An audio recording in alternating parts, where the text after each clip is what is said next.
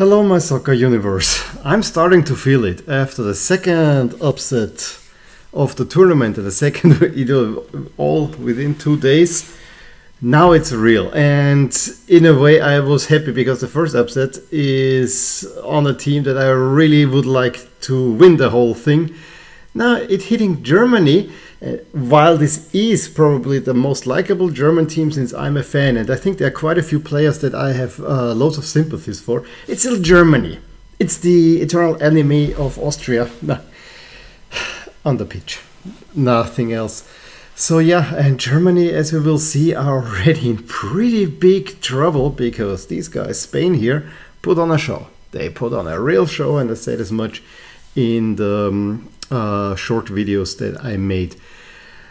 The other group, Group F, uh, snooze fest between Morocco and Croatia, but Canada really played out their heart and soul and lost. And this was one of those losses that could be character because they should have at least gotten a draw. I mean, I think they would have deserved the win over Belgium. They were they were really good for most of, of the game, especially in the first half.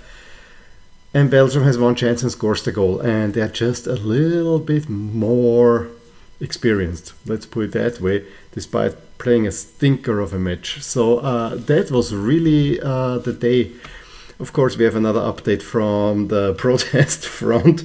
I think I, di- I didn't mention yesterday, seemingly there will not be huge sanctions for Iran. We also have injury update that Lucas Hernandez is out for France and Harry Kane has also had his ankle scanned, so he might be out for the next game. Don't think it will matter much for England against the US, but who knows. But the big one was before we go into the Germany Japan game that uh, the German FA had already been saying, you know, we have been under, put under loads of pressure to not wear the One Love armband, and the players kind of made that point by posting in their team picture like this. Now, uh, if I'm really, I actually want to laud them for actually making this gesture, because that was a pretty clear statement there. It just fell flat because they lost entry to to Japan afterwards, and so they shut themselves up, and then they really had to shut up because um, yeah, it was just not good good, good, good enough. Uh, but also the um, minister for the interior of, of, Germany was also visiting, sitting next to Gianni Infantino with a One Love armband, and real discussions there happening as well. So I just thought this was an interesting sideshow. I really hope that we can concentrate on the happenings on the pitch from now on, and that's what we're gonna do right now. Talking about Germany against Japan. Uh, this was such a parallel in many a way to what happened yesterday between Argentina and Saudi Arabia. Yes, Japan scored early, but it was a clear offside. Um, and you know, I uh, also also have to say I did not see really the first half of the game but I, I, saw the highlights a little a little, a little bit later. Germany had full control of the game, but Japan an organized team that can be rather quick and can hurt you on the counter and so on. So in that sense, uh, it was always gonna be an interesting game. But Germany had firm control. However, they're missing you know a focal point up front. However, they get a penalty. The Japanese goalkeeper who actually played for half a year in the second division in Austria, I learned at Horn, who you know this was uh, Keisuke Honda uh, was investing in this team for, for, for a while now. They are meanwhile somewhere. In any in any case, he played there for half a year, so yeah, that's what you get when you play in the Austrian second league. Um, he gave away a really really stupid penalty. The Gundogan duly converted, and then Havertz had even a goal disallowed for offside. Starting in the second half, there were three big chances for Germany. I think it started with a shot by Gnabry, who typically went over. And I have a feeling, I mean, uh, many a shot is going a little bit too far straight, too high. Uh, could, could could be that something's with the ball? I don't know. I, I have not heard any complaints yet, but it doesn't. It looks suspicious in, in a way. Then uh, Jamal Musiala dances through the Japanese uh, defense and doesn't get the shot, shot of anything, and Gundogan even shot hits the outside of, of the post. Germany make it there 2 0, they're never gonna lose that game. It has to be clearly said. And uh, Japan then uh, took the chance of the moment. And they had already a big, big chance that Neuer needed to save. And then I think the rebound should have been con- con- converted. And then uh, Ritsu Doan uh, puts in uh, a rebound after another Neuer save, uh, where the Japanese within few minutes had two really dangerous counterattacks, and that's exactly what I'm expected from Japan uh, coming. And then Germany open up. They bring a Götze, they bring on Füllkrug. We are go, we are moving forward, and they get called out. Uh, Itakura plays a deep ball onto Asano, and uh, the German defense. You see, Schlotterbeck wants to play an offside, as does the rest of German defense, except for Niklas Süle. And then Schlotterbeck is far away, and Asano can run straight onto goal. And the, the defensive frailties don't stop there because even Manuel Neuer, who is this absolute super goalkeeper, when you look at it on, on, the, on the replay, I mean, when Asano took the shot, I thought there's no chance this because in Neuer is there.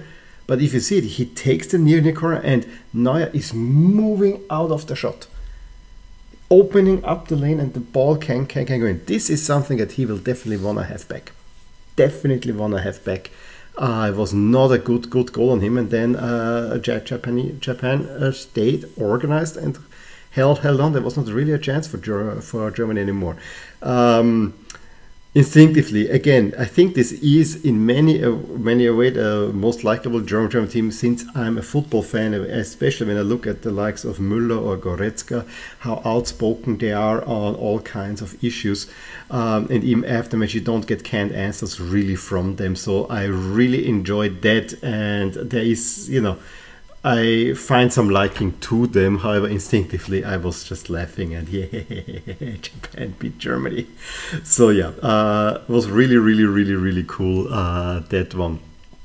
And things got worse for Germany because then Spain went on to beat uh, Costa Rica by seven goals and dazzled the crowd.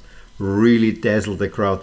Uh, great pass passing. This was tiki taka uh, with a little bit of a physicality to it, but this was uh, Spain at its very, very, very best. And I said it in a short video. Costa Rica is probably among all of uh, among all the teams there, together with Australia, and you know, post potentially Qatar. Um, one of the teams that I have the feeling that should not be at this World Cup because uh, the way they qualified already was not so convincing, and they're coming out of a weaker conf- confederation. So I always thought that Costa Rica will be outmatched, that they're gonna be seven 0 outmatched. That was not something that, that, that I expected. I also did not expect that Keylor Navas makes such a uh, error on the Asensio, Asensio goal which was beautifully played and the way that Asensio pulls it puts in a shot but Navas has has his hand on on there. This is something that he definitely would want to have back. Then they give away a penalty Ferran Torres um, the boyfriend of Luis Enrique's uh, daughter which I find really really funny uh, converts the penalty and then he does one off after they have uh, and then the game kind of fell a little bit bit asleep then there came some ye- yellow card and, and and so on.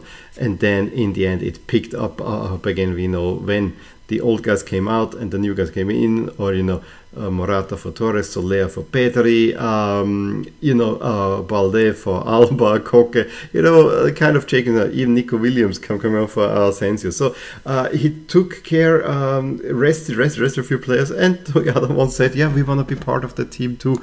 And Gavi scored a really nice goal after Morata assist. Carlos Soler puts one, then Morata himself after Daniel, Daniel assist it was really really impressive what Spain were showing and at this point they have to be considered one of the co-favorites uh, for this title I think this again we have to take Costa Rica out, out, out, out of it. When I saw Iran against England, I think that Iran played better against England than what Costa Rica did against Spain. So we definitely have to take that out of it but it was a statement. It was a statement that puts Germany under a heap of pressure. I will go to the standings a little a little bit later. Uh, just on Group F, I really gotta gotta say that Morocco against Croatia was another snooze fest. Uh, at the end of the first half, Croatia had a few chances. Uh, Morocco will be a team that's hard to beat. That much I can already tell. Uh, have a lot of support from the crowd, but honestly, it was just dull, dull, dull and uh, not much to talk about. I want to talk about jersey matchup because it's rather remarkable that Croatia now have a jersey that's majority white. If they would have a checkered jersey um, like normally, where it's all full checkers, I don't think they would have worn that one against Morocco, who play in red and green.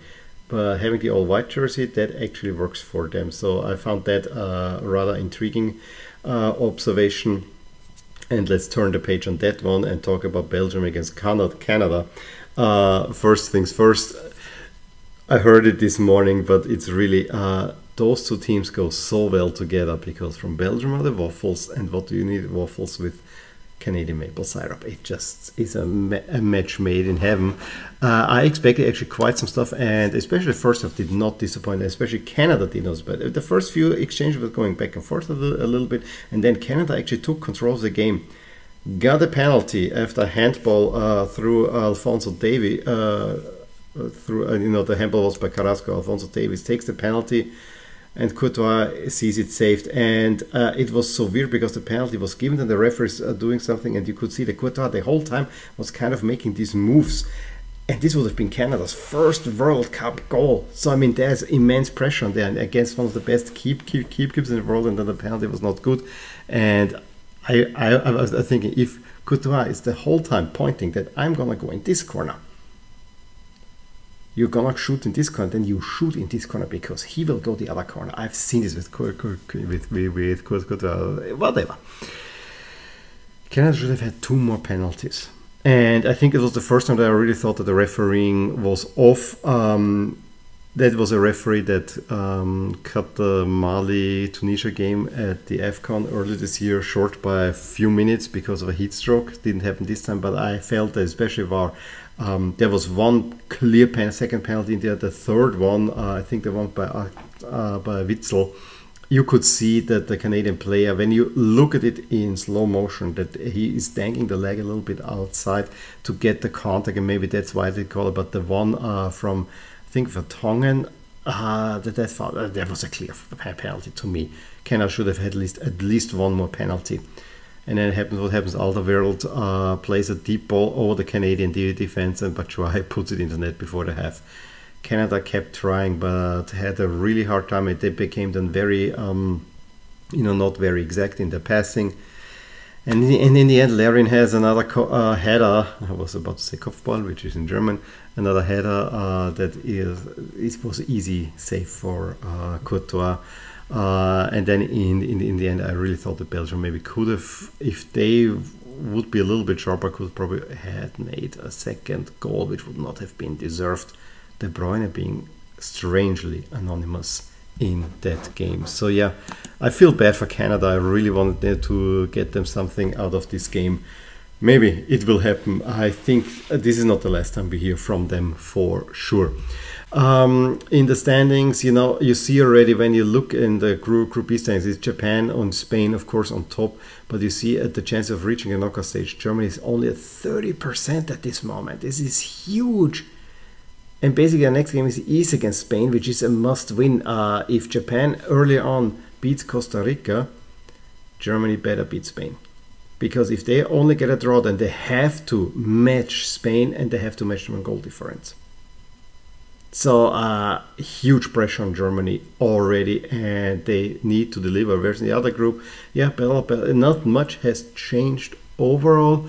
Uh, maybe Morocco's chances have a little bit improved, but you know, uh, Belgium is still uh, favored to go on, uh, which we also see in the projections. I mean, it's basically one to one world world what we've seen before. Uh, Japan now ahead of Germany, and if we go now to the uh, bracket, the projected bracket, the only real change is that Japan now replaces Germany, and again, Argentina, thanks to being the second highest ranked team, despite having lost because in the lower branch they will make it all the way to the final. I know it seems a little bit nonsensical, but this is the way it turns out. And you could see that. I mean, Argentina has precedent with that for losing the opener in 1990. They made it all the way, way, way to final. It is not that uncommon for it to happen. You just don't win. I think uh, there are not many teams that have lost the first game and then won the World Cup. That's maybe something I should look into. I want to say Germany in 58, but I'm not 100 uh, 54, but I'm not 100% on that.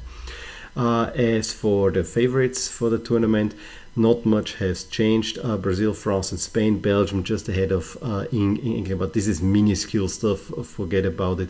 Argentina also they are very evenly uh, matched because Argentina has such a high high rating, so not much. But Germany fell now into 11th and uh, have a very low percentage of making it out of, of, of Tokyo, which is staggering, absolutely staggering. And hello, Japan, you're also now in the top 20. Uh, as for the fixtures for tomorrow, we have Africa is coming. It will be a Puma day. Switzerland against Cameroon, uh, and if Cameroon will play in the ugly jerseys, they should play also with Puma because that's Cameroon is for me Puma. Then Uruguay, South South Korea. Everyone's talking about Uruguay, Ghana, but they Uruguay and South Korea made in the, met in a round of 16 at the 2010 World Cup. So it's also a rematch, and we have Portugal, Ghana. Curious what the um, uh, Portuguese stars will do, but I'm really stoked for Brazil against Serbia. That I think will be a really, really good game, and I really want to see what Brazil is made of in that one. So that was it from me for uh, today. Again, it's late. I shot it right after the matches. Um, give me your thoughts on the game today. Give me a thumbs up if you enjoyed this video. Subscribe to my channel if you want to see more. I will talk to you soon. Bye. Hey there, I really hope you enjoyed this video and if you did, here are some videos and playlists that you may enjoy too. Also, please consider subscribing to my channel and hit the little bell icon so to get notified whenever something happens in my soccer universe. And with that, have a wonderful day. Bye!